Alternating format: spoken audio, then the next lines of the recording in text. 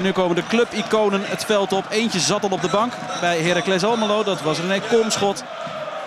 En naast hem een Excelsior-icoon, zowel speler als trainer geweest van deze club, Thijs Liebrechts. De aftrap, waarbij er iets te vroeg naar voren wordt gerend.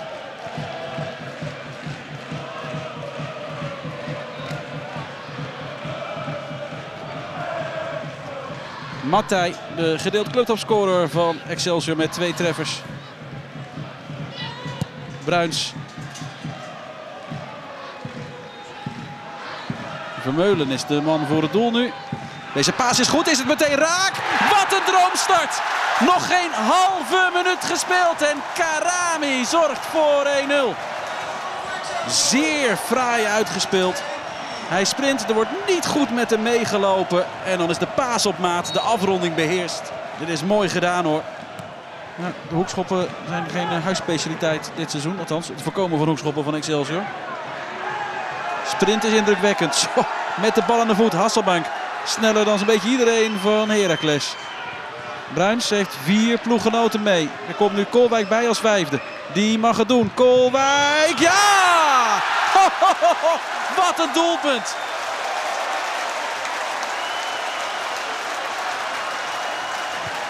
Ryan Kolwijk met een uh, fabuleuze 2-0.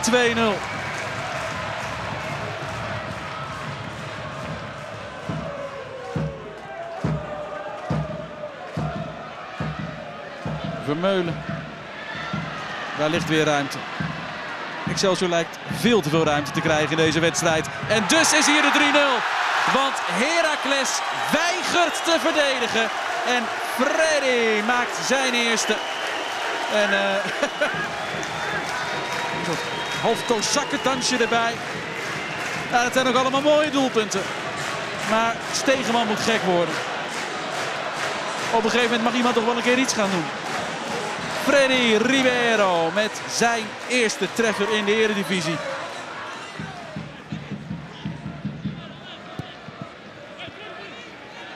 Kolwijk, ja. Patronen zitten er wel in hoor bij Excelsior. En daar is het geen 4-0. Vlag is omhoog. Zo uh, wordt er wel wat gejuicht. Maar het is wel echt het moment dat uh, Stegeman helemaal uit zijn plaat gaat langs de zijlijn. Ik heb hem wel eens boos gezien, maar zo boos als nu na bijna een halve voetbal op Woudenstein is Stegeman nog niet vaak geweest. Nog een keer de aanval. Het klopt. Dan is daar de voorzet. En is het inderdaad, denk ik, net aan buitenspel. Nou.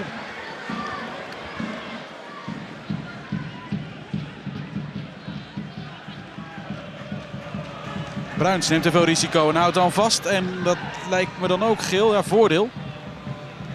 Want de aanval gaat verder voor Heracles met Bruns. Bruns, Hens geclaimd, niet gegeven. En deze bal gaat er bijna in. Dat voorkomt Muiters net. Hij zoekt nog even Bruins. Ja, die gaat geel krijgen. Voor het vasthouden. Hier geen penalty natuurlijk voor. Pelo Pessi kan door naar Gozens.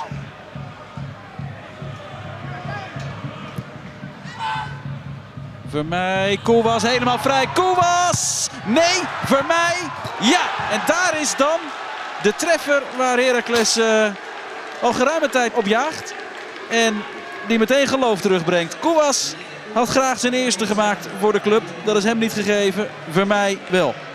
Koewas moet natuurlijk al scoren. Zo'n grote kans. Goeie redding nog van Muiters. En dan zit er een uh, klein beetje geluk nog wel bij in die afronding. Want de bal van Vermeij Door de benen van Matthij en door de benen van Muiters. Dubbele panna. Bruns. Bal wordt verlengd en weer Muiters.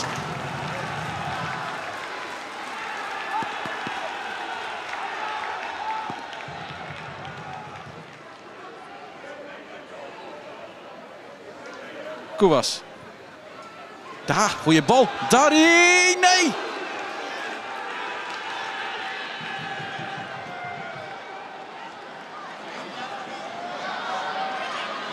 Bruins. Zo, ja, ik zou zeggen, geven maar. Dat is uh, zoveel tijd. Maar niet erin geschoten.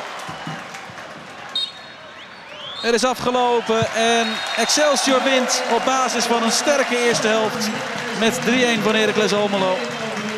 In uh, zo'n 22 minuten tijd was de wedstrijd daarmee wel beslist. Heracles uh, speelde een verloren wedstrijd. Verdiende nog de complimenten voor alle energie die er in de tweede helft in is gestopt. Maar de punten en de meeste complimenten zijn er toch echt voor Excelsior.